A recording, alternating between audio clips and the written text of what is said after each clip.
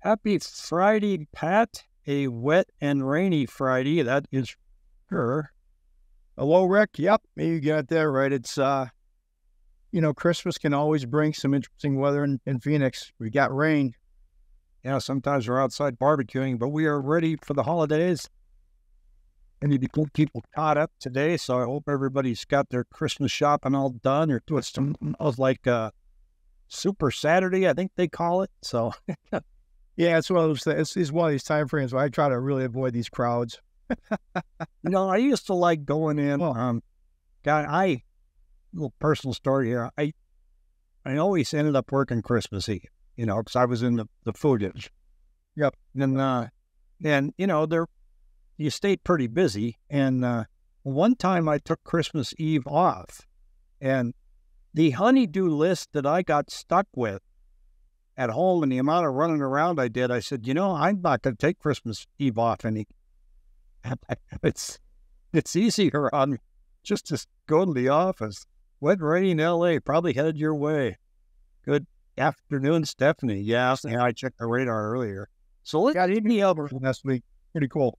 Yeah, it was great. Let's tee up what we're what we're, our intentions are today because we're, we're going to get beat up a little bit. Me, yeah. Later, um, I, you know, there's a lot of YouTubers out there that are just the crash is coming, doom and gloom, wild projections, and some of them have been like one guy has a website that's been out there for five years saying, you know, the crash is coming.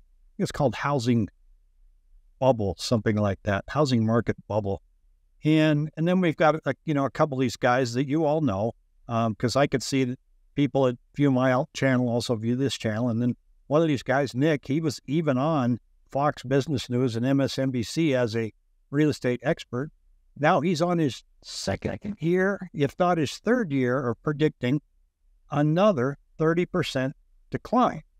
And how we get on MSNBC or you know Fox Business News, I wonder what the now we just don't know the right people. But I, I'm gonna I'm going to tee this one up here. Here's a, this was posted, and this is uh, courtesy of a YouTuber named John Schwartz, who was just picking this guy apart. And uh, he'll go through what he says, and he pulls up charts to show that he's off. But I want to show you his prediction here from June 11th.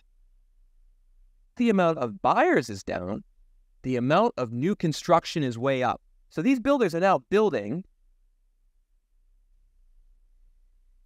know what? I messed up on that. Let me see what I can do. He, uh, I'm going this. Yeah, here. Out of new. You have to follow the money. Builders are in business to maximize. Anyway, I want. I somehow I missed that one, but he, he said that we are at the tip of the market, and he said I am predicting from this day forward we're going to go down at least 30%. And, uh, and we haven't even gone, they've, they've shot straight up since then. We haven't even gone down to the level where he was at, let alone 30% below that. Okay. I'm just going to say something. Go back to that picture. I'm just going to be something smart alecky. That guy was born in like 2010. Well, that's not the guy that's talking. This is it here, Nick. Well, yeah, he was born in 2009. Yeah. You know, during, you know, these guys have been, been around probably. They're like probably six years old, five years old. Well, uh, just saying, be a smart guy. Couldn't be, you know, I, hard to tell. But the other comment that was made too along this was consumer debt. And the consumer debt was is way out of whack. And it is consistently higher. But I think what can also be pointed out is, and the reason I'm showing you this is when a statistic is pointed out to you, do some digging and say, okay, well, what else could it mean? And when I looked at the consumer debt, I pulled up consumer debt service payments as a percentage of personal income. Now, that doesn't look way out of whack to me. No. So there is consumer debt chart goes way up like this, but the debt according to your income, disposable income, is not off the charts. So that uh, that doesn't make things fall off the face of the earth. Now, I hope this one works. Let me try it here for a second. Okay, so now this is another guy. This is um, Scott Walters. Yes, there is an army rooting for the crash. I get it.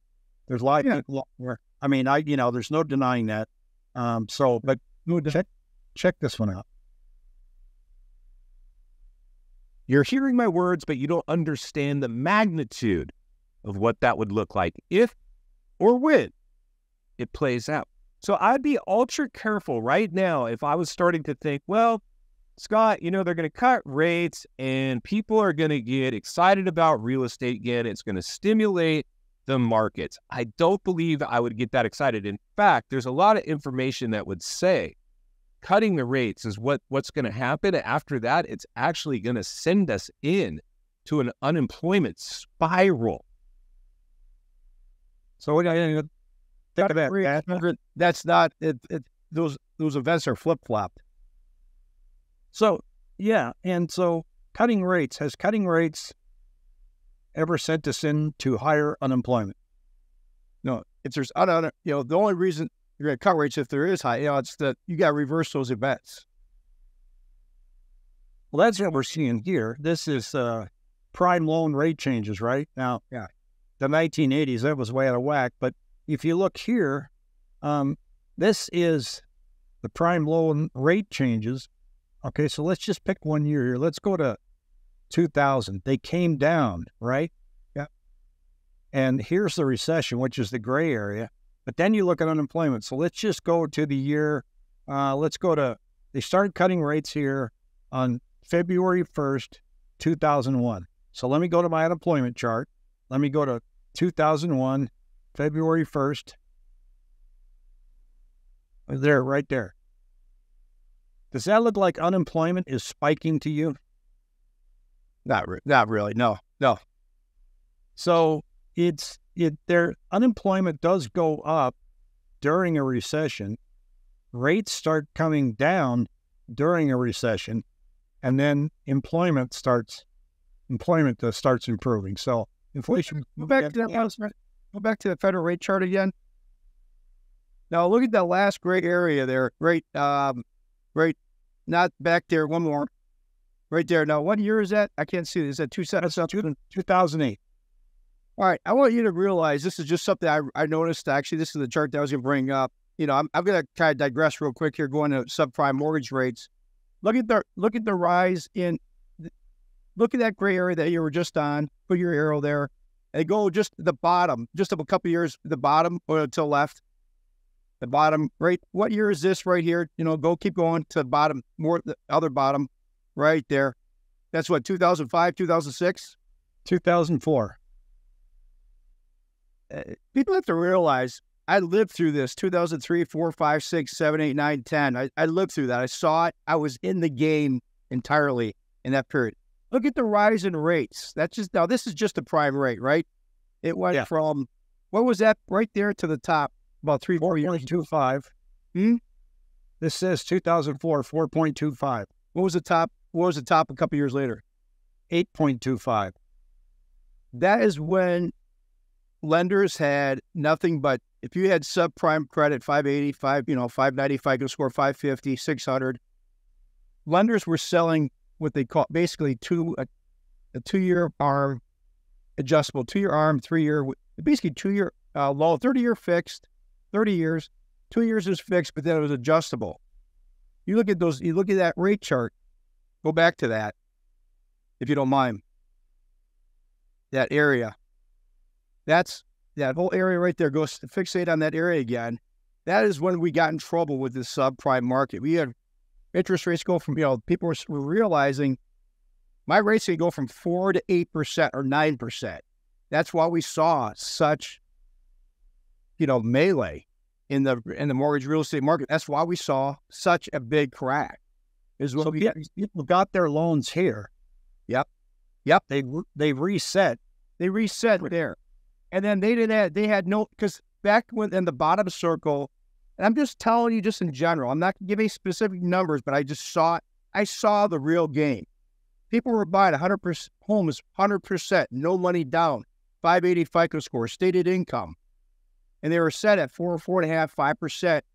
Two years later, three years later, which would take you into the 07, 08, 09 era, they're like, huh, my my loan's resetting. I've got no I got no equity. I am letting the house go.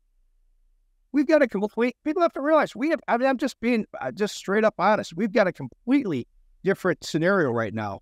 Uh, right uh, atmosphere, uh, environment. We've got people that, like you said, go back in this story. I'm going to sound like until I'm, you know, repeat myself. 36, 37 million people at four, four and a half, five percent locked in for 30 years. They're not going to see their rate go from four to eight, you know, three to five or three to yeah, eight. You know, so let me ask you this, which is a common question that we get out there from people all the time, or comments that I see. We've got a nasty recession coming and it's going to force people to sell their homes. What say you? You know what? What say me? Basically, yeah, there will be some people. Don't get me wrong. There will be people that are stuck in that. Uh, we do need the housing supply. Um, is it going to be a mass it, it's totally different than 07, 08. Like I said, people are, that's the problem. People are stuck comparing. We're going to see a crash because they saw 07, 08, 09. They saw the, the, the monster one time. They think the monster is going to come again. You, are comp- comparing two different environments. Yeah, if they lose their job, yeah, okay.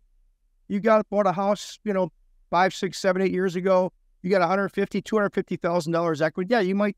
There's probably going to be people that will have to sell. I mean, the problem is, Rick, what you and I are seeing is these people that go from one, you got one people on one extreme saying, we're going to see massive layoffs or this. Well, let's try to take things down the middle. And so, yeah, I'm going to be honest, there will be people that lose their jobs, but they might have 150, 200, 300,000 dollars equity. Now, for one, they're probably going to try to maybe bring, maybe bring a renter in. Um, they got extra bedroom. Um, they might have. Well, what about this? every recession has seen home prices come down. Every re- no, it hasn't. This is the average sales price right yeah. here. 1970, 27,100, all those days. Um, that doesn't look like went went down by 800 bucks. So here's 1974. The average house, 38,000. These gray, these gray lines here, those are recessions. Those are recessions. Okay. So look at the section in 0809. Yeah, that was that was the that was the crash. Yeah, that's what were just talking about. Now, yeah, you saw that. You look at the blip on that chart. You know, so um, you know, going back to if people lose their jobs, you know, if you got 150, 200, 200,000 dollars equity, I, I'm just people are going to get creative. They're either going to borrow money from a relative for maybe a year, say, hey, um, I'll, I'm just throwing this stuff out, but hey, I've got equity in my house. You can put a second, you know, we'll put a silent uh, second on my house for the 20000 that you just loaned me. I've got two. People get creative. you get that much money, maybe they will sell. But um, I just don't see this massive event that's going to be, uh, in, at least an employment going from 3.8, 3, 3.7, 3.8 to 4.1. I just don't think those are, that my opinion. But you know what? I can give my opinion just like all these other uh, Google knuckleheads are on YouTube, or, you know, YouTube, like you just showed. You know, they're they have just as much credibility as I do, or I we I think we got more because we actually do still state the facts, but I just don't see it. I've been doing. Oh, we boots on the ground once again in Phoenix, showing how much building is going on in this area and how we're overbuilding. Here's my question: Did you ask anybody what the months of supply is for new construction? Did you talk to anybody about their sales rate in the development that you went into? Yeah. Did you address how many people are moving to the area? Now, he could find some statistics to go, yeah, there's going to be some downward pricing pressure on new homes, but flying a drone over a neighborhood and showing you that there's a lot of construction doesn't mean anything. As you can see in the ticker below, a lot of what you're looking at is multifamily. There's a lot of construction going on for apartments and rents are coming down. They are coming down very much. They finally just stopped going up. Now, speaking of that, the other comment that's made on a video today, was it today or yesterday, was saying that the eviction number of evictions in Maricopa County are higher than anywhere in the country and set a new record. Now, that part is true, but what is ignored is the overall eviction rate in Maricopa County because we have a lot more people living here than we did. And there were a lot of people that got caught up and, you know, lost their jobs and, and they, the moratorium happened right here. So our eviction rate was 2.4 you know, because you couldn't get anybody. So now that you can, we're up to 4.2. Well, look, 4.2 is not that out of whack, is it? No, no. The number of evictions is, it's way up here, but you always have to look at the percentages. Like affordability, just how bad, you know, if you look at affordability chart and it's showing you the affordability of income versus the price of the house, that's much different than saying the income versus the payment for the house. Now, recently, getting up to eight percent, affordability is way out of whack. It wasn't wasn't good. Um, so now, the other thing that come out is these institutional Wall Street investors have bought everything, and they want us all to be renters. Okay, how big is that number? So I looked it up. Single family construction, right here for mega investors. This is for the country. 445,000 homes. Smaller investor, 19,000 homes. Now, I don't know what that is as a percentage, but 445,000, when normally we have three to four million listings in the country, that's not a mover and a shaker. That's not going to change things no. too much. I mean, how many millions of homes out there? I think I saw a number. Um, I think the, the overall national number, it was something like 144 million, something like that. I think I saw it. Yeah. Now here's another one here because this this one is what is baffling everybody. Good afternoon, Keenan. Good to have you back. Sales per year. Okay, looking into the houses. Look how bleak this is. I mean, this is as low as it's ever been. And even in my seven day moving average, you can see here that we're down to like 2000, but it's, it's Christmas week, so it doesn't count. But yeah, this is how low we've been trending. Now, if if you're talking about crashes, how come we're not crashing when sales are this bleak, Pat? Yeah, I know. Well, remember we, we were talking about the fact that, um, you know, we've been through what were we just talking about? Uh, kind of, you know, my memory is well as good as. Uh, well, we were talking about, you know, if we'd have told you that oh, interest yeah. rates are going to go from 3% to 8%, yeah, but would you. What would happen? If you going back two years ago, I would love to ask the number of people, right? I mean, we are talking about that. Right now, rates are at three. Let's go back in history. Rates are at three percent today. But if we told you next two years rates are going to get hit eight percent, I'd love to see what people's responses were. Well, we did go down in fairness seventeen percent. Yeah, but it did turn it did turn back around. So yeah. we didn't crash thirty percent. Sorry, Nick, didn't happen. Um, That's what I'd say. We saw softening. We saw, you know, we're we're going to see softening, but um, once again, it was interesting to think about. You go back on the history of what we have seen some softening, we've seen some pullback, but I, I, just don't see the crash that everybody's waiting for. Well, I have a uh, um, a newsletter called the Blueprint that I get, and they're kind of putting out an end of the year blip here that you know because this is prediction season, right? So yeah, there's Still no, no housing bubble in 2024. We know some people out there truly believe there's a housing bubble. Well, we're going to burst their bubble. We absolutely don't believe it and find even the suggestion ridiculous, utterly implausible. Yes, we would likely see continued price growth and higher than pandemic mortgage rates, but that's all we're going to see. And mortgage rates will not drop quickly. Listing activity will rise modestly. Home prices will rise, not much. Home markets, home values and markets that crashed will recover. New construction will gain share. Housing affordability, unfortunately, will remain about the same. And uh, foreclosure activity won't impact the market. I kind of glossed over this. U.S. government will need to continue taking housing seriously. Please keep your hands out of it.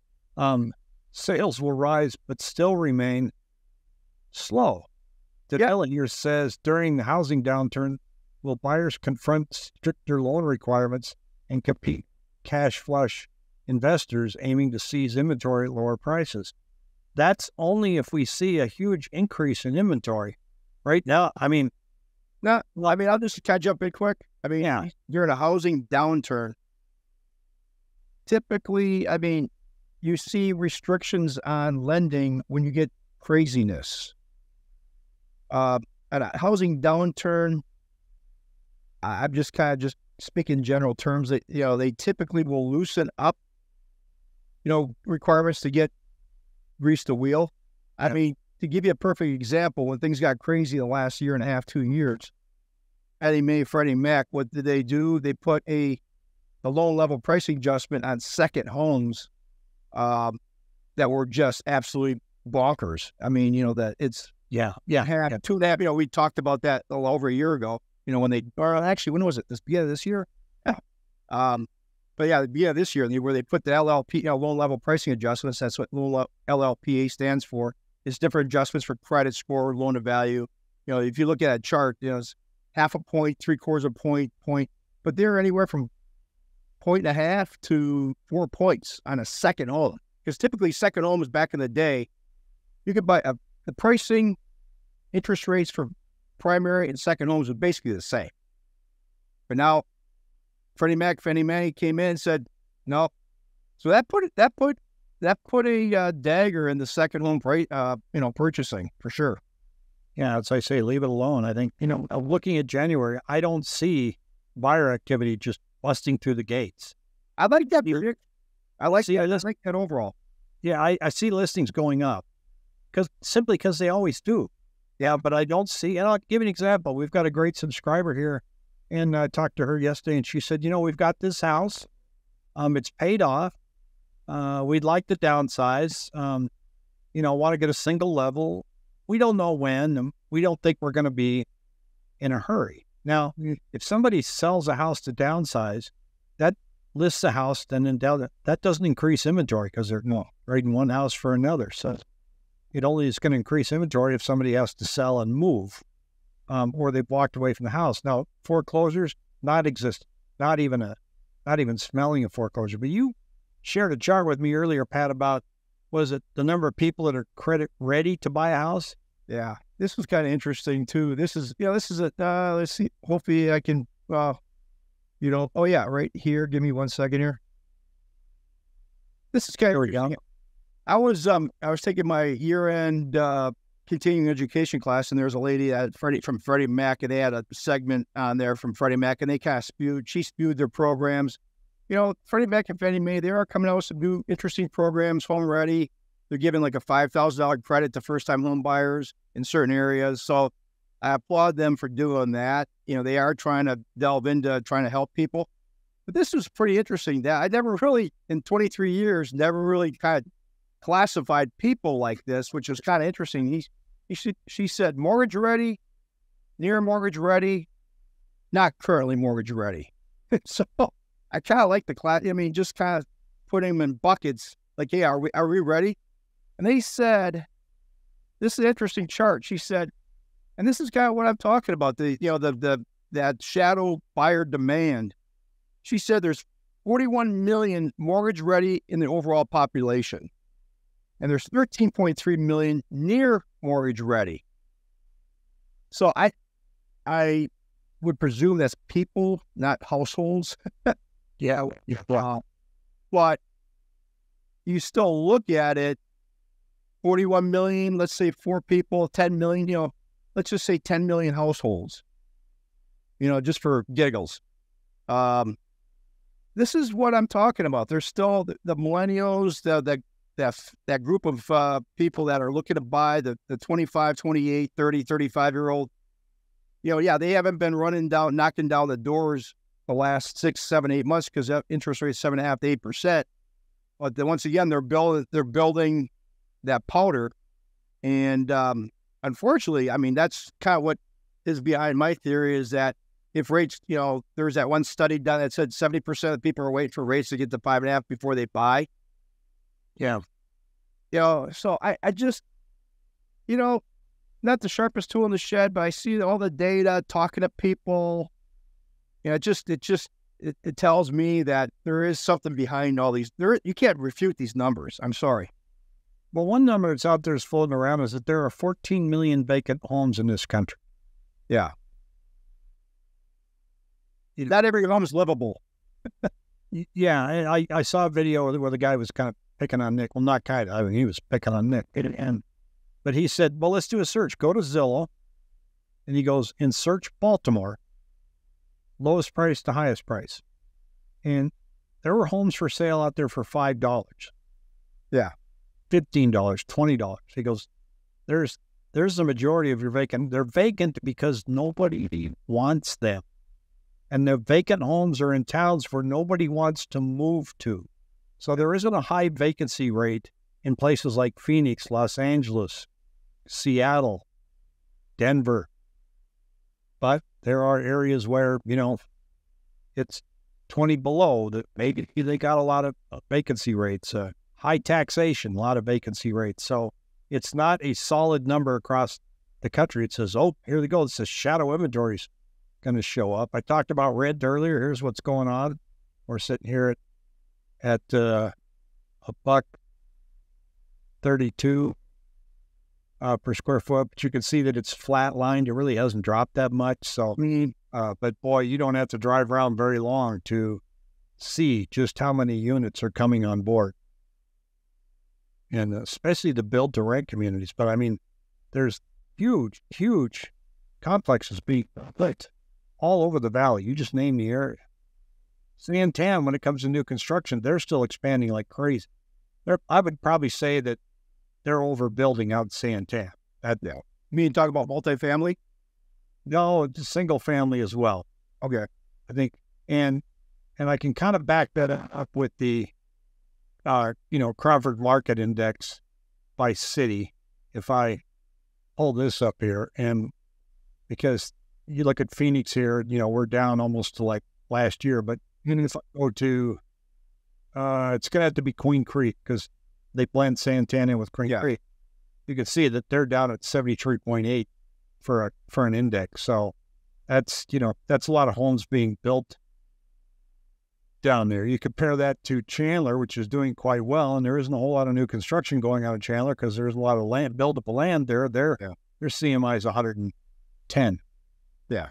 Their the Cromford Market Index supply versus demand is only updated once a month, and as I've pointed out, they're they're touching right now, um, but they haven't crossed. Supply has not exceeded demand yet, so there's when if that happens, then yes, there is downward pricing pressure. So I'm going to be very interesting to see what what shows up in the first second week of January because just my simple little calculations here on my seven day moving average shows me that those two lines are not getting closer on the on the index because we're down to like 80% here where we're about 65 so the gap's closing between new listings and contracts. So so i don't expect those numbers to cross next month. Uh, danila's got another question here.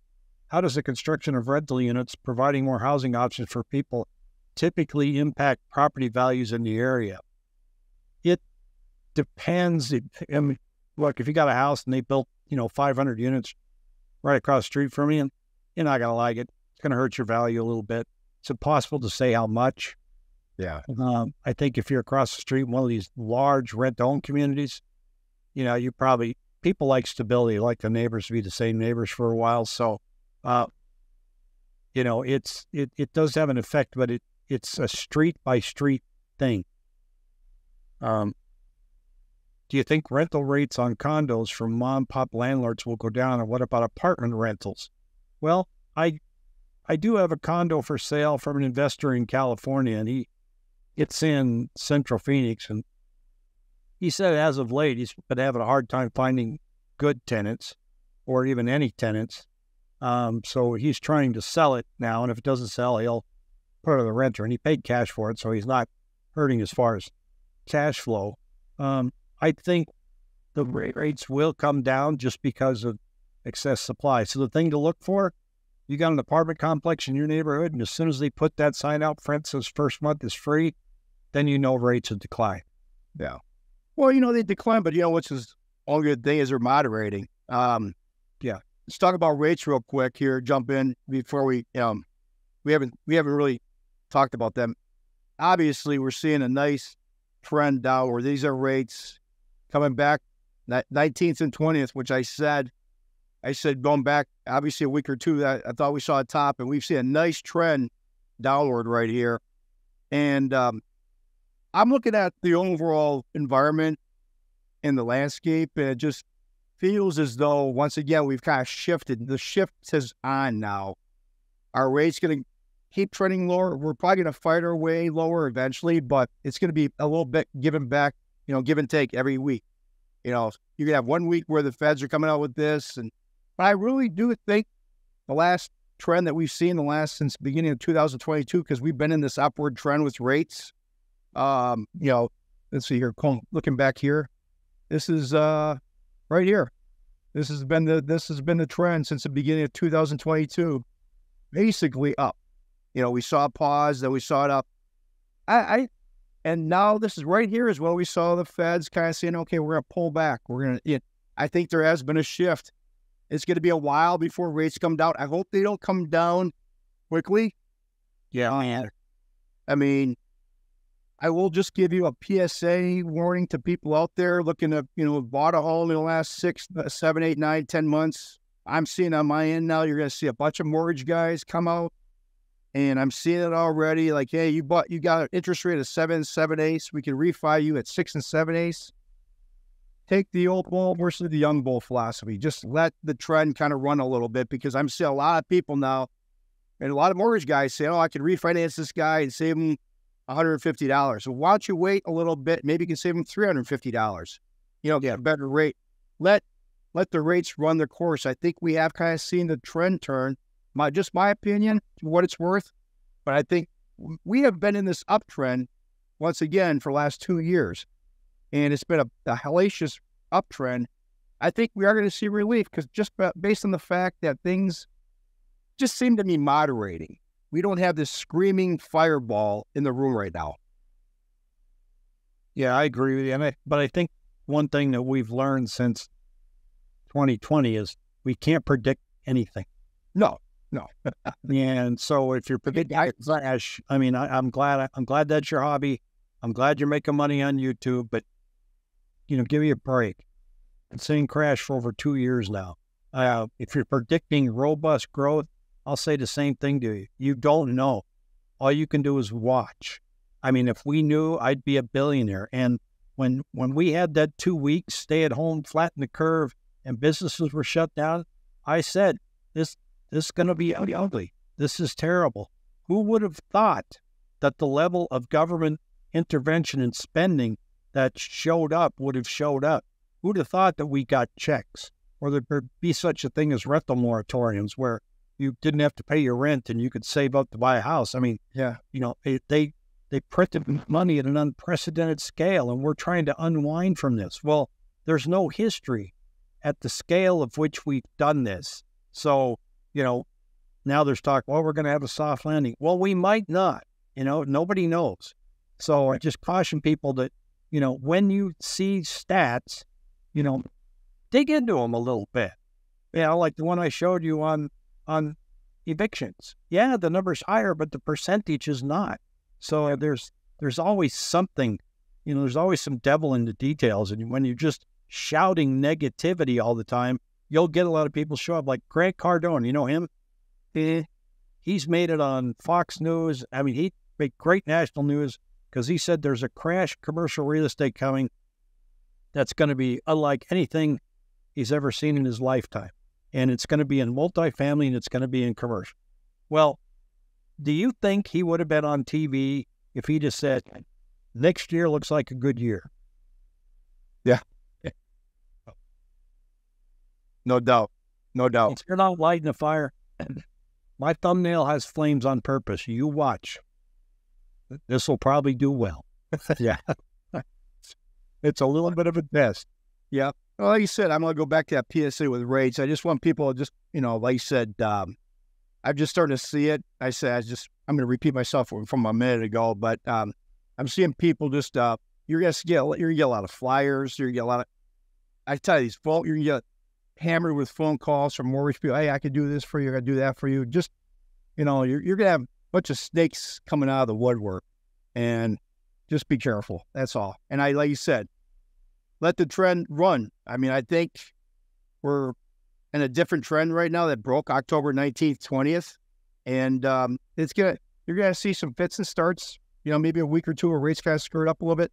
It just feels like eventually we will, we will get there, but I hope the hell it's slow and sure, not this quick ram back thing. Yeah.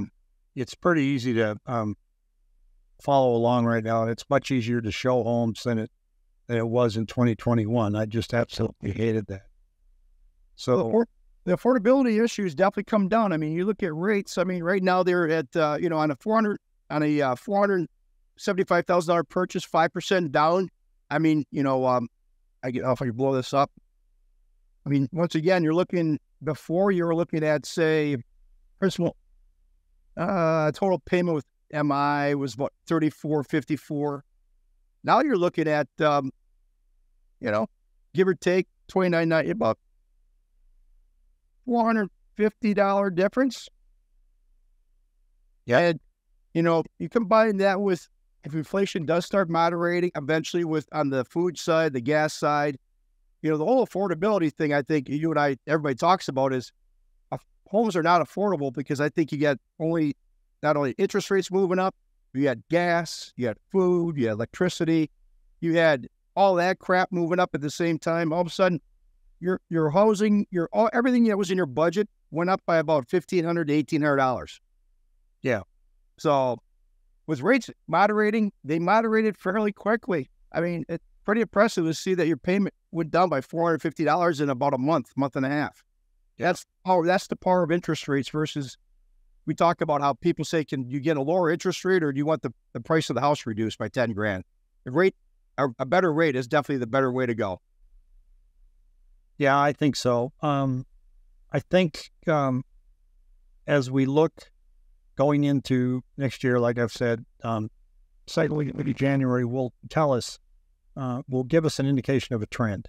Mm-hmm. Um, and that's what you want to see. You know, our our if listings go up, will the sales follow? That's the real question that's out there right now. We're we're at 2,100 to 2,400 units every seven days contracts. Will that budge? Will that go up? If inventory goes up, like it always does January, and that stays put, then well, you know, then we're not going to see an increase in price.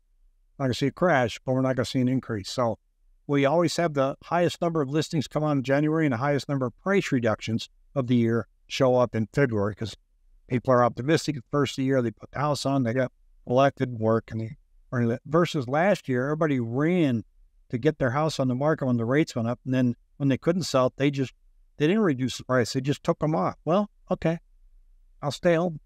well, Pat, thank you for joining me again, and and everybody, please have a safe and Merry Christmas. Uh, we don't know if we have another show next week, but if we don't, it's going to be hit. You know, you said hit and miss, maybe. Yeah, I'm not sure. I think. Well, I, am pretty sure we'll have something on Friday. Okay. Well, yeah. All right. A couple other videos being sprinkled out there. Here. Um, I know last year we kind of bored everybody with a one year recap. We won't do that to you this year because you know what's going on. You see it. So we'll we just, bore them anyway. We bore them. Up. Yeah. There'll, be some news out there somewhere that we can chatter about. So everybody have a great weekend, and, uh, and I hope your uh, Christmas shopping is done. Uh, don't be like uh, I used to be and end up at the mall on Christmas Eve. Although you know what, that was kind of fun, just sitting and watch people wrap. You know, you, yeah, you can watch this. I tell you what, the gift cards are a bachelor's best friend. and there's a gift card scam going on out there right now, so be careful. So, yeah. all right, buddy. Take care, everybody. Later. Take care. Uh, wow. I think the I think that's just kind of just